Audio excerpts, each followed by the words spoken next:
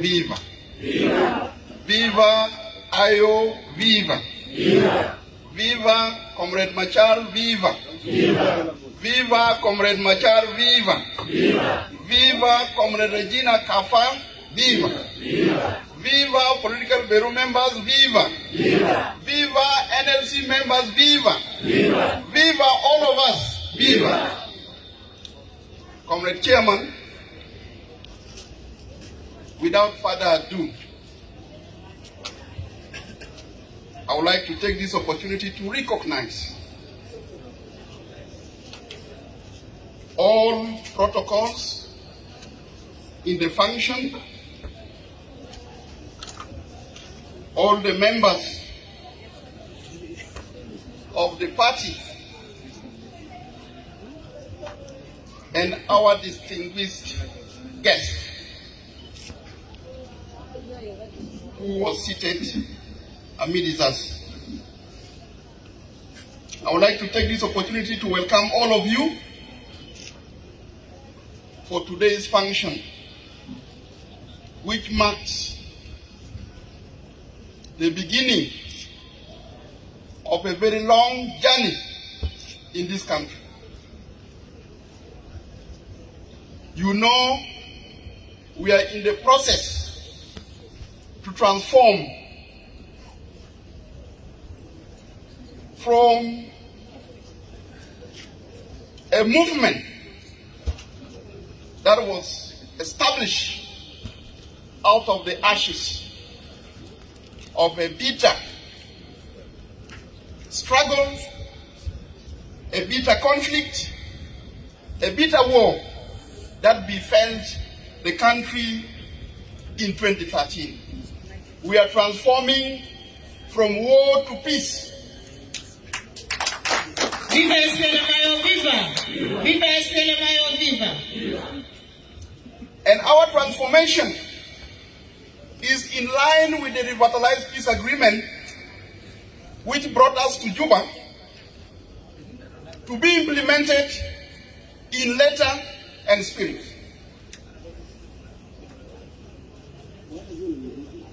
You remember the way we came. In 2013, when we were one SPLM, there was no blue.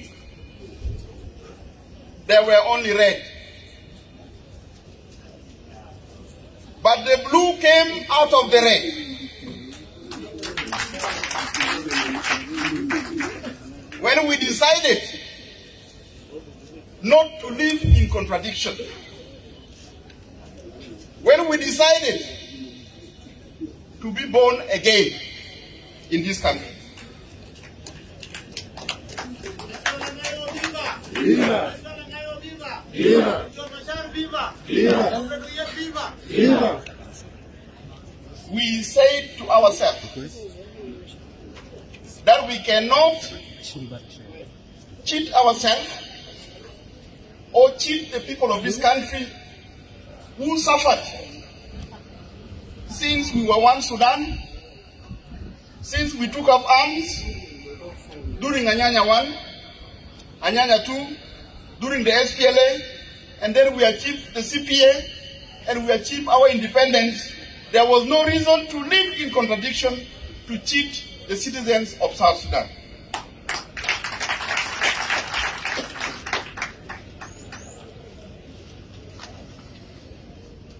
Others did not want to listen, especially our colleagues. We left them behind. On the 6th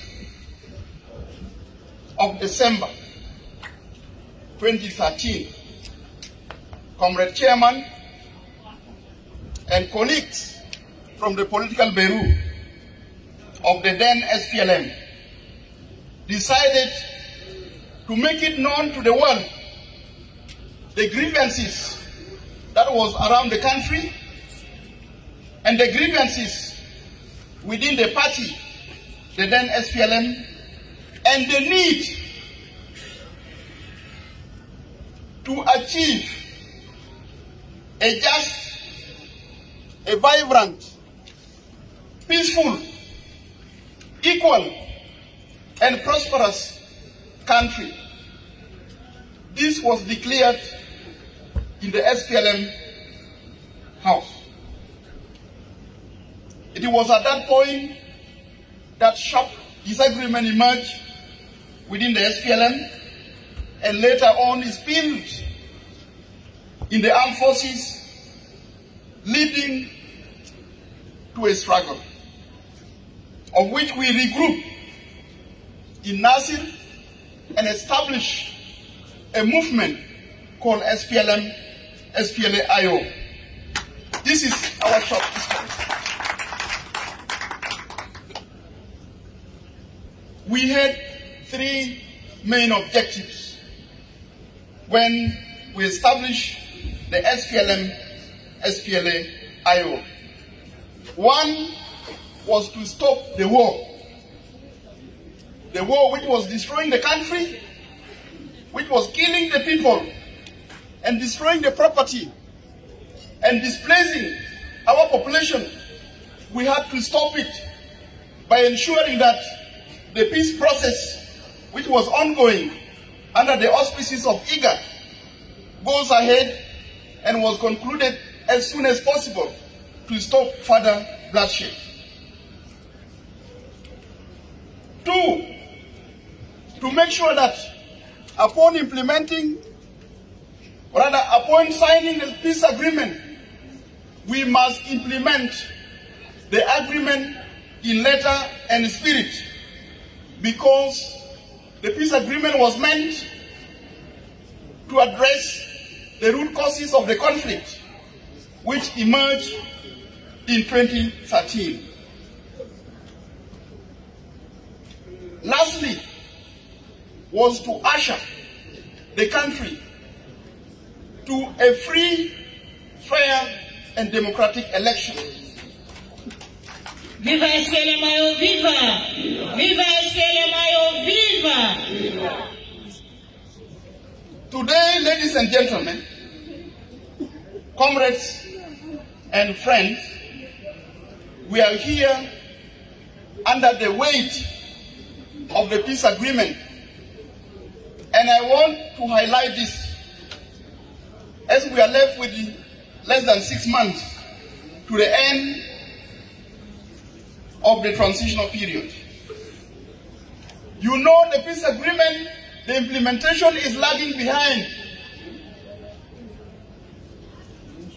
We have not been able to move in chapter 1, in chapter 2, in chapter 3, in all the chapters. And I'm sure some of you are questioning, after six months, what next? This must be your question. And this must be the questions on the streets. I want to assure you that the peace agreement, which was negotiated and internationally brokered, we shall not throw it away. Ayo, viva! Viva, ayo, viva! The agreement remains valid, remains important. Yesterday, today, even after the six months. As long as it is not being implemented, as long as it is not implemented in letter and spirit, we shall never throw the agreement which is meant to transform this country away.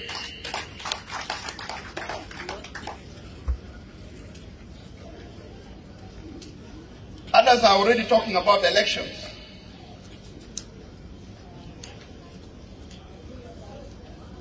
And they're moving around the country and they're talking to the media about elections.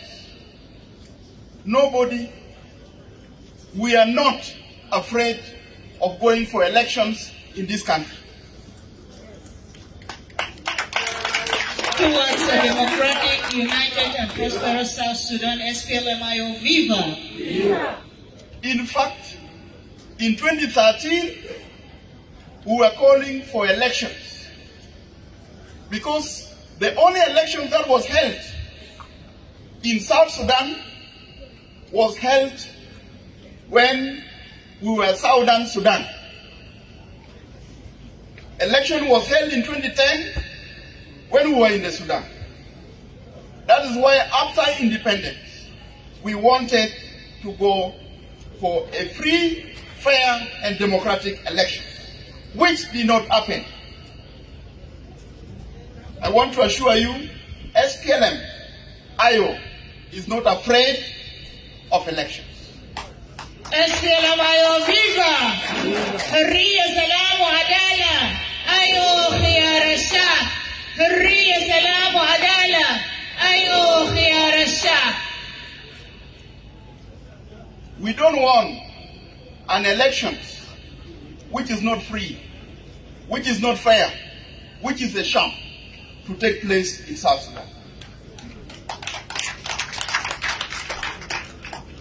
We want an election which is credible,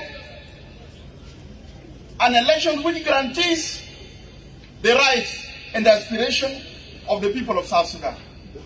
An election where South Sudanese will have an opportunity to vote for their leaders, leaders of their choice. Not anybody choosing for them leaders. In 2010, you know what happened. All of us were in the SPLM. In many states, elections did not go well. For instance, in Jonglei, fighting emerged out of elections. Today you call Greater Pibor administrative area. It came out of disputes over elections. In Western Equatoria, we had a problem due to elections. In Central Equatoria, there was a problem which emerged from the elections. In Bentiu, Comrade Angelina is seated here. We had a problem which emerged out of elections. In Aweil, there were acrimonies out of elections. In Eastern Equatoria, some candidates were taking ballot papers for themselves. These were electoral corruption. Almost in all the states. And you know, we had only one dominant party at the time. But even then, election could not go on smoothly with only one party, which was dominant, the SPLM. What about today? How many parties do we have? There are those who are in alliance of 13 parties. There are those who are in alliance of seven parties. Viva! Viva! Viva SPLM ayo viva! Viva! Viva mas continua viva! Viva! There are those who are in alliance of over 20 parties. In fact, somebody told me that in the country we have over 60 political parties. 64. And we have how many tribes? We also have uh, 64 tribes.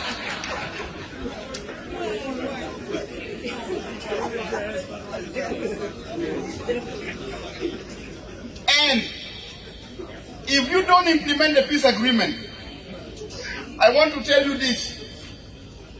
Some of these parties, there are forces attached to them, including the SPLM. For us, our party is founded on truth. And we will not shy away to tell the truth. Viva Ajiba Haja Ajiba! Viva Ajiba Haja Ajiba! Viva Ajiba Haja Ajiba! In the beginning, it was called SPLM SPLA. And they say political military high command. These arrangements remain up to date.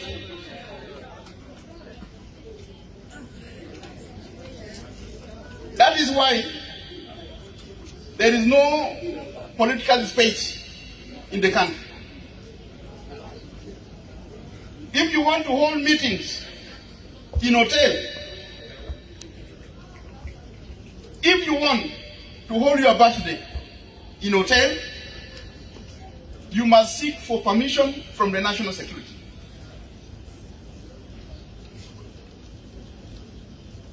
Then we ask, where is the Bill of Rights of South Sudan, which is in the constitution? It doesn't exist. And if you ask, what is the interest of the national security? What is the interest of the police to stop any South Sudanese from holding meetings, from holding birthday parties, from holding wedding parties in hotel? What is the interest? Is it not because they are fearing that they will be discussing political issues? And what mixes politics and military? They are supposed to be separate. We have been fighting that don't mix religion and the state. We are also today saying don't mix politics and the military. Towards a democratic, united, and prosperous South Sudan with a free political space. SPLMIO Viva! What do we want? What do we want it? What do we want? Change. What do we want it? Now! And indeed, the change will come. The change has come, it will come, and it will be there. And I want to assure you, with the brave young faces that I see, the change for South Sudan is here.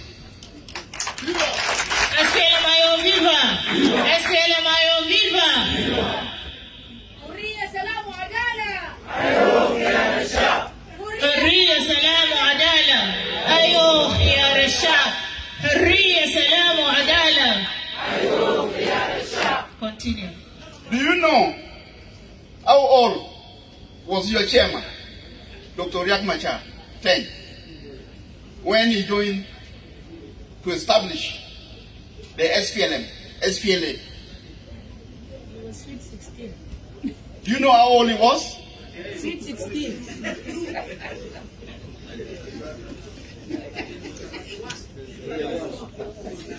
He was 28, 28 years. And if I ask, how many of you are below 28 years? There is nobody. All of you are above 28. I don't know how old Angelina was. 27. She must have been less than 28. This is to tell you that it was a long journey for him. It was a long journey for Salva Kiir. It was a long journey for Dr. John Garang and the colleagues. They were all in the same age group. And for you, you have now started at the right time. 20 years, 30 years down the road, you will be seated like him. SPLMIO Viva! SPLMIO Viva! And we pray for his long life. We pray for the long life of his age mates who are among us here, so that they continue guiding the new and vibrant members. Viva Bashar, viva! Viva! Viva Bashar, viva! Our issue in South Sudan is the political space. We have reached the peace agreement. We have signed security arrangements, permanent ceasefire. Though it's being violated, that one is already a done deal. It must be implemented in letter and in spirit. And this must be signaled very clear to IGAD, to the parties to the agreement, to RJMEC, and all the international community. That on the matters of the agreement that transforms South Sudan into a democratic society, we cannot relent. Neither can we throw it away.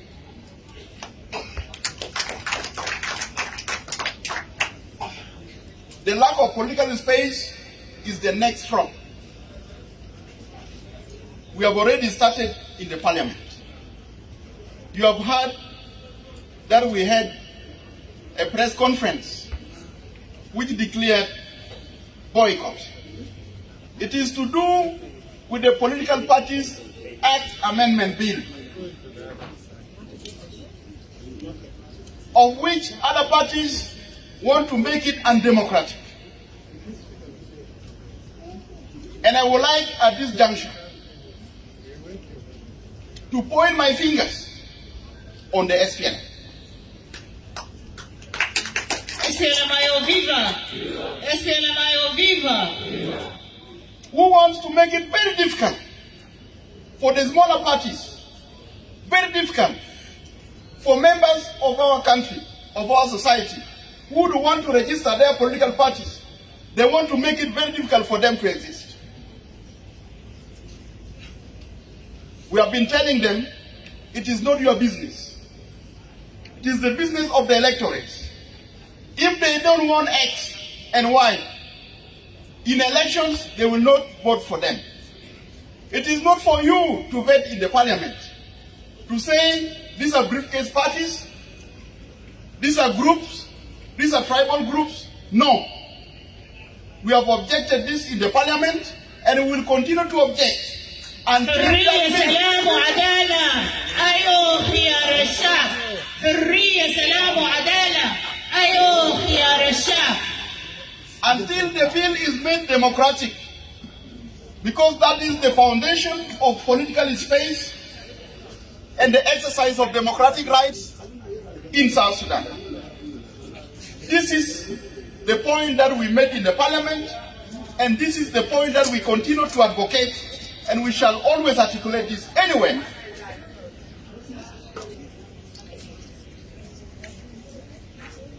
Allow me to conclude by saying something brief about elections. As I told you earlier, we are not scared of elections, but we want a free, fair, and democratic election. Viva SPLMIO! Vivians SPLMIO! Continuous comrade. The agreement, the agreement enshrines the need for a free, fair, democratic elections. There is no question about that. And the agreement does this at the end of the transitional period. Meaning, from the time you begin the transitional period, you must be working to lay the foundation for a free, peaceful, and democratic election, including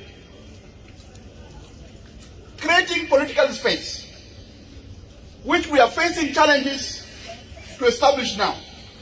And I want to recognize, in a very special way, our chair for for Wara, the chair for Awim, if they are seated among us, and the chair for Jonglei. Are they seated among us? Jonglei, thank you very much. Viva SPLMIO Viva! Viva SPLMIO Viva! Viva Comrade Viva! We also have another brave, vibrant lady, the chair for Aweil. Women League Viva! Viva! Women League Viva! Viva! 40% Viva! I think she's not here. And also the chair for Eastern Equatoria.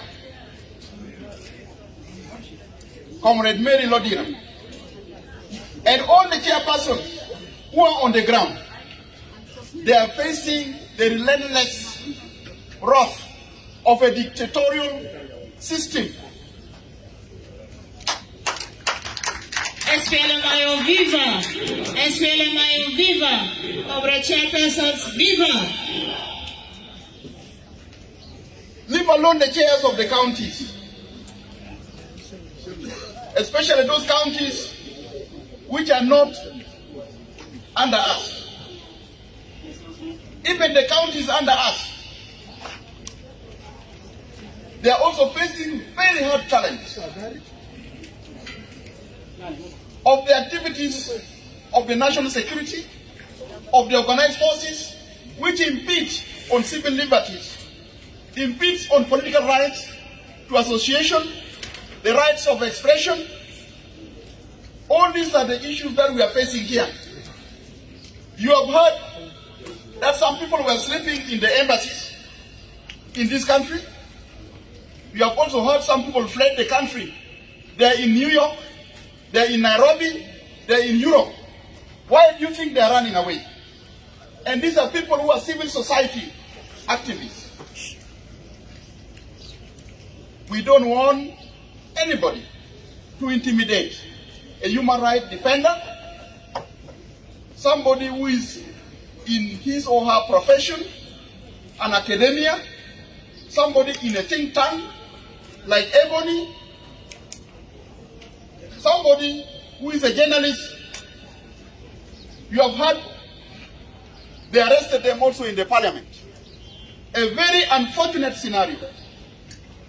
These are issues that we are complaining about, and we will never, never relent. We must open the political space in order for us to achieve a free and fair democratic election. This is our message. With these uh, few remarks, allow me